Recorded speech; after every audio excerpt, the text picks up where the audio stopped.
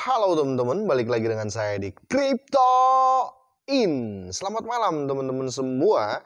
Semoga hari ini luar biasa buat kita semua dan buat teman-teman di rumah yang dalam keadaan kurang enak badan atau dalam keadaan sakit, saya doain cepat sembuh teman-teman ya. Biar kita bisa trading bareng lagi teman-teman. Oke. Uh, di kali ini teman-teman ya, saya akan review Raca token teman-teman atau koin Raca ya teman-teman. Langsung saja kita cek beritanya teman-teman. Oke, ini candlestick raca teman-teman ya. Saya ambil di 4 hours ya atau di 4 jam. Dia mengalami kenaikan 29,24% teman-teman. Itu kenapa ya?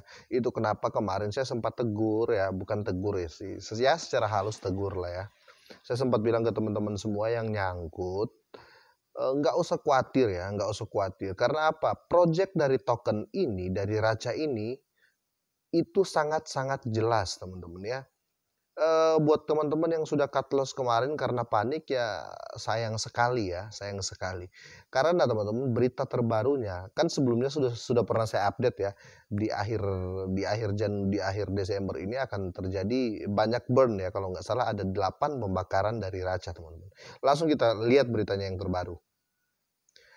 Nah, ini teman-teman ya, ini 6 jam yang lalu di official Twitternya Raca teman-teman. Dia baru saja uh, burn ya, burn satu miliar token ya, satu miliar token raja baru saja dibakar. Langsung kita translate. Makanya saya bilang ke teman-teman semua jangan terlalu panik ya, pelajari, pelajari candle apa eh, pelajari project raja ini ya. Mungkin waktu kalian membeli yang nyangkut cut loss akhirnya rugi, mungkin waktu membeli itu apa ya ikut FOMO lah ikut ikutan orang. Ya saya sarankan jangan seperti itu teman-teman ya. Mending kita lihat fundamentalnya dulu. Kalau ini kan sayang sekali teman-teman ya. Dan juga uh, oh saya baca dulu teman-teman ya. Saya baca biar teman-teman juga ah, bisa tahu lah.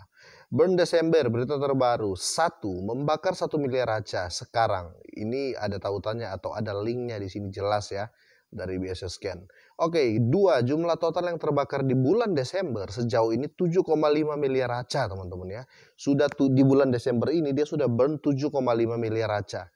Oke, dan ketiga sasaran atau eh, targetnya nanti pembakaran total adalah 10 miliar raca pada Desember 2021. Jadi sekarang itu masih ada 2,5 miliar lagi sisanya yang akan dibakar di waktu ya sekitar 8 hari terakhir inilah di tahun 2021 teman-teman ya.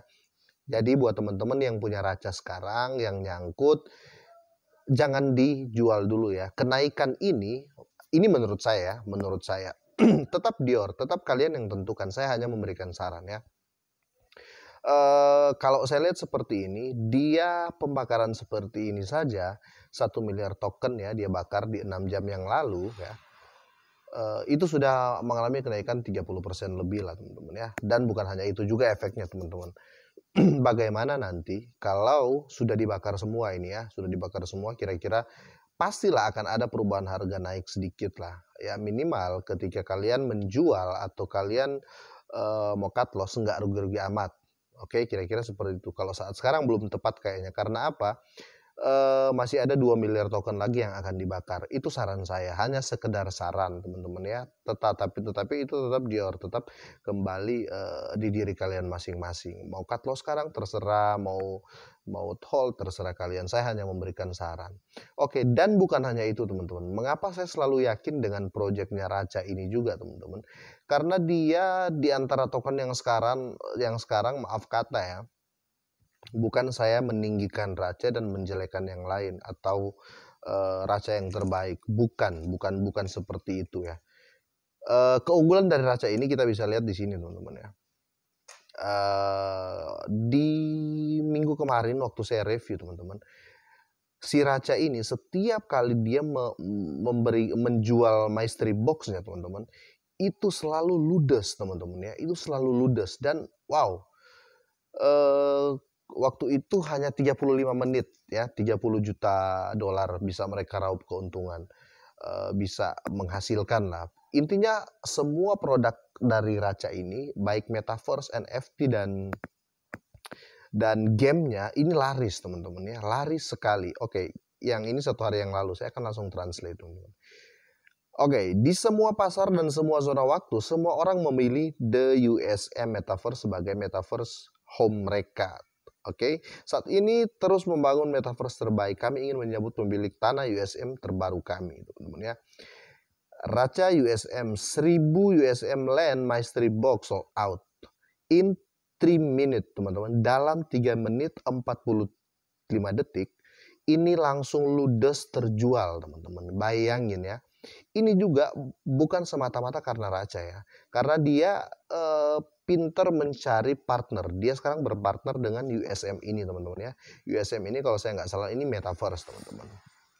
Jadi eh, partnernya pun menerima Raca berarti tahu dong eh, fundamental si Raca ini. Karena setahu saya the USM ini teman-teman bukan eh, perusahaan kecil lah atau bukan bukan proyek kecil. Dia ini besar. Dia duluan terkenal daripada Raja. Jadi mereka sekarang apa ya partner lah teman-teman. Hingga mengangkat Raja sampai pada saat ini. Ini menurut saya. Mungkin teman-teman ada pendapat beda silahkan teman-teman. Tapi saya mau kembali ke pokok permasalahan. Buat teman-teman yang nyangkut sabar dulu untuk cut loss buat yang sudah cut loss ya sudah terlanjur teman-teman ya sudah terlanjur dan prediksi mungkin ke akhir tahun di akhir tahun 2021 Raja akan terus naik akan terus naik akan terus naik ya menurut saya karena masih ada lagi yang akan dibakar sekitar 2,5 miliar token teman-teman. Dan itu akan menjadi efek yang sangat luar biasa. Belum lagi di semua proyeknya yang orang semakin semakin yakin teman-teman ya. Semakin yakin. Seperti ini ini enam hari yang lalu. Saya mau coba ya. Enam hari yang lalu nih. 190 ih gila, 190 juta ya. ya 190 juta dolar total volume perdagangan kami telah berlari dengan baik. Bakery swap teman-teman. Di bakery swap uh, volumenya itu 190 juta dolar teman-teman ya. Ini ngeri teman-teman ya. Jadi Raca ini memang sedang di apa ya sedang menunjukkan menunjukkan kualitas ya menurut saya. Dan baik dari gamenya ya teman-teman semua itu laris manis. Ini juga sold out teman-teman. Jadi kira-kira menurut saya untuk teman-teman yang sekarang mengaku nyangkut. Karena banyak teman-teman juga di di grup ya yang wow apa ya? Wow bro saya nyangkut. Dasar si Raca segini dasar si Raca ini token gini. Ada yang bilang radio cacat lah ada yang sampai gimana gimana jadi pesan saya ya. Pesan saya itu seperti ini saya bukan mau saya berbicara bukan berarti saya belum alami teman-teman ya. Saya sudah alami, saya sempat jadi fooder juga dulu. Saya sempat jadi haters dulu dari kok bukan raca ya, dari koin-koin sebelumnya. Belum ada meme coin ya, masih saya main uh, apa Doge coin, Dogecoin sama BitTorrent, Guard ya, masih main M miner, masih di micin-micin yang yang awal-awal lah kira-kira seperti itu. Saya sempat jadi fooder saya sempat jadi hater nah setelah saya sadari kenapa saya seperti itu? Karena apa? Saya membeli sesuatu itu berdasarkan FOMO. Saya membeli aset berdasarkan ikut-ikutan. Oh ini lagi hype nih beli. Akhirnya nyangkut ya kan? Itu. Jadi poinnya kita harus tentukan kita ini investor atau trader. Paham ya? Kalau investor itu biasanya holder ya, yang hold coin, yang buat investasi. Kalau kita mau jadi apa? Uh, trader atau scalper ya yang yang tiap hari cari cuan tiap hari. Dia di depan laptop ya atau di depan HP lihat candlestick uh, pengen cuan tiap hari tiap detik tiap menit. Jadi ada dua kita harus tentukan kamu mau jadi apa trader atau jadi investor? Kalau saya pribadi saya adalah investor, jadi saya tidak saya tidak memperdulikan harga saat ini karena saya punya tujuan di depan yang tujuan harga saya berapa itu itu tujuan saya ada gitu loh. Dan saya sarankan buat teman-teman yang mau jadi trader atau mau, mau jadi scalper ya atau scalping itu nggak salah ya nggak salah. Cuman teman-teman kita harus punya skill yang mapan skill yang bagus ya skill yang bagus minimal ya minimal kalau kalau versi saya kalau mau jadi trader mau scalping tiap hari cari cuan minimal kita harus kursus membaca candlestick kita kursus lah di orang-orang di broker-broker kursus kursus dulu, pelajari baik-baik. Oh ternyata gini cara melihat candle, cara membaca candle, cara membaca pasar. Nah, kalau menjadi scalper seperti itu, siapkan baik-baik mental kalian, siapkan baik-baik pengetahuan kalian baru mau jadi scalper atau uh, trader itu. Jadi harus bisa bedakan bermain kripto, bermain saham, bermain indeks forex, trader sama investor itu beda. Kalau saya investor, teman-teman ya, itu kenapa dia mau naik atau turun saya nggak pernah peduli teman-teman. Yang saya peduli ya harga yang saya tunggu di harga berapa saya akan jual.